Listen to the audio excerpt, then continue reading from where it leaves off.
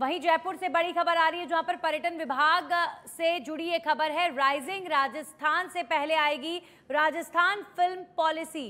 Film निर्माताओं को पर्यटन विभाग से ये सौगात मिलने वाली है। गुलाबी नगरी में मार्च 2025 में आयोजित होगा आईफा अवार्ड, और ऐसे में दिसंबर में राइजिंग राजस्थान का भी आयोजन होना है तो लोकल आर्टिस्ट के डिमांड को पूरी करने की कोशिश रहेगी, और एक फ़िल्म पॉलिसी का निर्माण यहाँ पर किया जाएगा।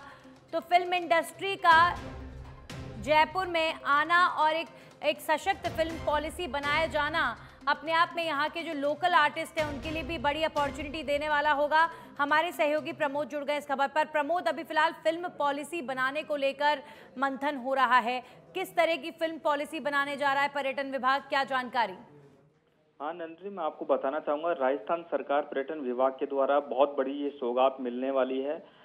राइजिंग राजस्थान दिसंबर में आयोजित होगा और आइफा अवार्ड मार्च 2025 में आयोजित होगा। उससे पहले इस तरह के जो ये पॉलिसी है, सौगात है, ये मिलने वाली है। फ़िल्म निर्माताओं को पर्यटन विभाग से ये सौगात मिलने वाली है। और ये अपने आप में बहुत बड़ी बात है। लोकल जो आर्टिस्ट है, उनकी जो डिमांड है, उसको फुलफिल किया जाएगा।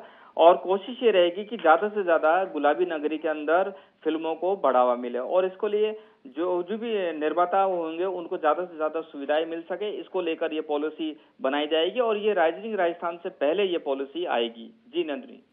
बिल्कुल, प्रमोद राजस्थान में जिस तरीके से आईफा अवार्ड आयोजित होने की चर्चा तेज है, फिर राइजिंग राजस्थान को लेकर तैयारियाँ तेज हैं। जो आने वाला वक्त है मुख्य तौर पर राजधानी जयपुर के लिए काफ़ी ज़्यादा अच्छा रहने वाला है, काफ़ी विकास से भरा रहने वाला है, ऐसा लगता है इन इवेंट्स को देखकर। हाँ बिल्कुल।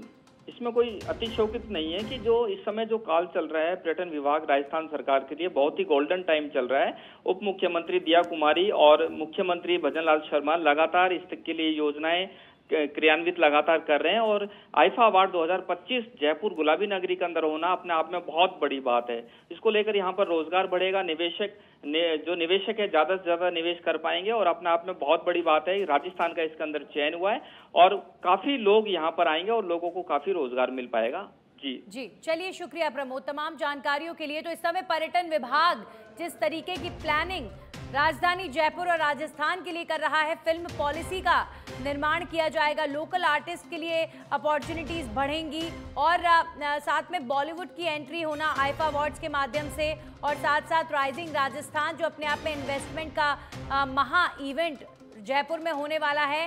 तो इन तमाम इवेंट्स और जो पर्यटन विभाग की प्लानिंग है, उसे देखकर यही लग रहा है कि जो आने वाला वक्त है टूरिज़्म के लिहाज से जयपुर के लिए काफ़ी महत्वपूर्ण और काफ़ी गोल्डन रहने वाला है।